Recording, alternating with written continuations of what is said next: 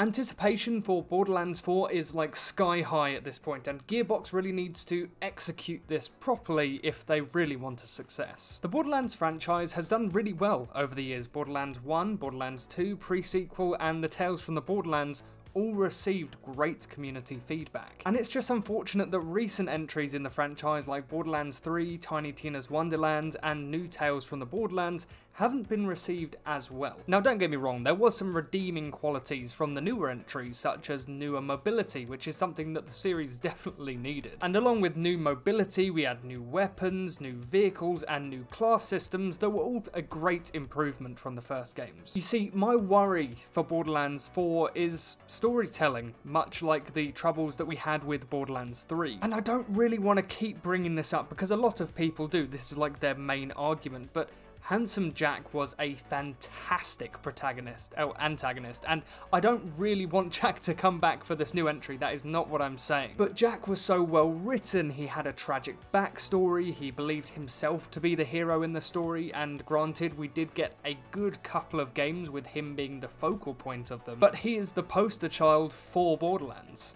apart from Claptrap maybe. Whereas you get to Borderlands 3 and you have the Calypso twins, which were really shallow shallow antagonists. And they were primarily satirizing influencer culture and trying to gain as many followers as they could, and they didn't really have a meaningful motivation apart from getting like famous in the Borderlands world. And Gearbox really need to not use cultural trends or satire to push the entire narrative of Borderlands 4. It didn't work in 3 and I don't think it's going to work in 4. Earlier Borderlands games didn't need this cultural commentary to be funny and engaging, and I just really hope that Borderlands 4 doesn't follow suit in that. Because at the end of the day, authentic character humour and narrative depth are the focal point of what made Borderlands Borderlands. I kind of feel like recent Borderlands games have really suffered with humour and it feels like they're really trying too hard and lacking that kind of sharp wit that they once had. And the shift in writing and tone, I don't really know at what point this actually happened, but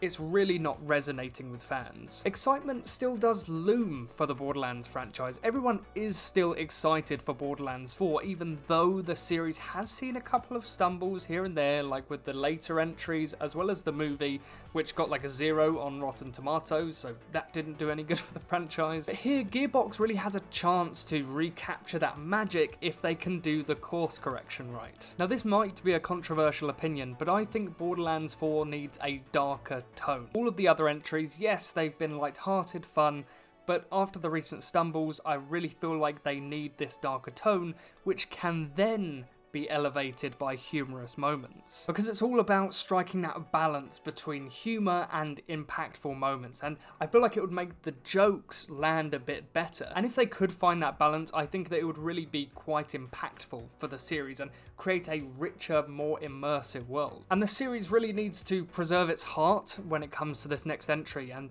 that heart was the key to the franchise's success in the first place. And uh, I'm not saying that they have to now rely on cameos and bring back every single character that we've ever seen in the franchise. That just wouldn't work. It would be Cameo City. But those complex characters were part of the reason why many of us returned. But what I'm saying is that the characters that we did have back in the earlier entries had emotional depth to them. Yes, they made a fart joke here and there, or made this joke, or made that joke, and it's something that I feel like the later entries in the series have just lacked. Everyone is just, haha, funny. And my concerns really kind of stem from Borderlands 3. I was really excited for Borderlands 3 when it came out, but unfortunately my fingers got burnt a little bit. Because although the gameplay was new, there was new movement and everything that I've gone over previously in this video, Unfortunately, the narrative just didn't live up to what we all expected it to be. And at the moment, a lot of Borderlands fans are cautiously kind of optimistic on Borderlands 4. They really do hope that it will be something that the classic games only dreamt of. And the only way I can really see that happening is if Gearbox listen to the community and